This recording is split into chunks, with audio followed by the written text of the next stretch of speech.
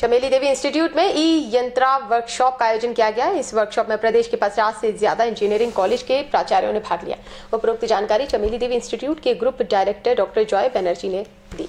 उन्होंने बताया कि आईटी मुंबई से आए एक्सपर्ट डॉक्टर कृष्ण लाल ने यह प्रोजेक्ट एमएचआरडी द्वारा अनुमोदित किया है।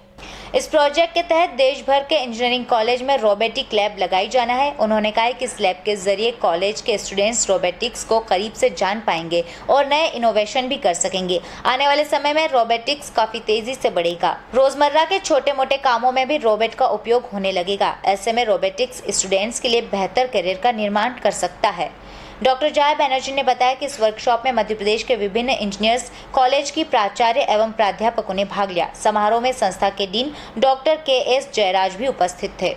अच्छा स्टूडेंट्स को सिखाने के लिए कौन चाहिए? टीचर चाहिए राइट अब टीचर्स जो हैं, ये जो साइंस है इंजीनियरिंग है, ये इतना ज़्यादा एडवांस कर रहा है जल्दी जल्दी। सो टीचर्स के लिए भी उसको no keep pace with it it's difficult with all their other teaching load and everything. So we are providing training in this subject to the teachers जो आज जो टीचर्स आए हैं दो दिन के वर्कशॉप के लिए आए हैं जिसमें they will learn about this robot how to operate it, how to run it, how to use it and everything and then they will go back to their colleges, continue the training for another 12 weeks, and then they will be completely हम Bombay IIT के साथ computer science engineering department e Yantra project है under M H R D that is ministry of human resources and development ये ऐसा एक project है जो जो क्लासरूम में हायर टेक्निकल एजुकेशन में जो टीचिंग हो रहा है, उसका लर्निंग जो हो रहा है स्टूडेंट्स को, और वो प्रैक्टिसिंग के साथ जुड़ रहा है। प्रैक्टिस इसी हिसाब से जुड़ रहा है, जो वो छोटे छोटे मॉड्यूल्स रोबोट्स बना रहा है और वो रोबोट्स के पीछे, बनाने का पीछे एक आइडिया है।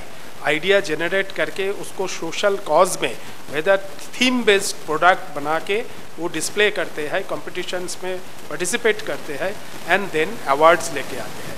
इनके लिए पूरा जो तकनीकी हेल्प हमें मिलता है बॉम्बे आईआईटी से। बॉम्बे आईआईटी का वेरी एक्सपीरियंस टीचर्स फैकल्टीज़ ने, हम लोग का फैकल्टीज़ को टीचर्स को ट्रेन करते हैं।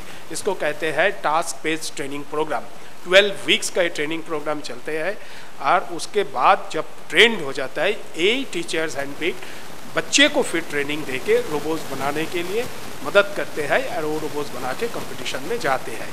ये प्रक्रिया है। यहाँ पे आज जो हुआ है, आज अभी प्रिंसिपल्स मीट हुआ है। सो इंदौर से नामी नामी कॉलेज में, नामी नामी कॉलेज में सारी प्रिंसिपल्स आया है। उनको सारी ये चीज़ एक्सप्लेन किया है। J E L S I initiative से रोबोटिक लैब उन्होंने इस्टेब्लिश करना चाहिए सारी कॉलेजेस में। हमारा कॉलेज में ऑलरेडी इनिशिएटिव लिया है। इसमें खर्चा पहले बहुत ज़्यादा होते थे, पाँच लाख रुपया। अभी सिर्फ़ दो लाख रुपया में ये लैब सेटअप हो जाते हैं। बच्चों को देखिए, बच्चों को बहुत फ़ायदा होगा काफ़ी फ़ायदा होगा बिकॉज़ बच्चे प्रोडक्ट बनाएगा जो आपका सोसाइटी में लगेगा। जैसे होम ऑटोमेशंस में है, अभी स्मार्ट डस्टबिन किसी ने बना दिया, किसी ने कैसे फ्रूट्स प्लग करता है, किसी ने एग्रीकल्चर फार्मर को कैसे कितना पानी देना है, कितना खाद देना है मिनिमम मिनिमम कॉस्ट में, जिसमें ह्यूमन मैन पावर का ज़्यादा ज़रूरत नहीं पड़ेगा मशीन्स ऑटोमेशन से कर सकते हैं। और इस एक ऐसा चीज़ है जे बहुत सारी स्टार्टअप इंडस्ट्रीज़ भी स्टार्ट हो जाएगा इसका बेसिस पे।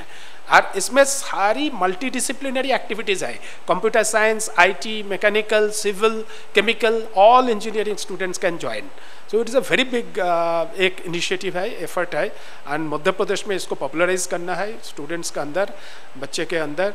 एंड सारी कॉलेजेस को इसीलिए हमने प्रिंसिपल्स को मीट कराया। बॉम्बे आईआईटी से एक्सपर्ट आया।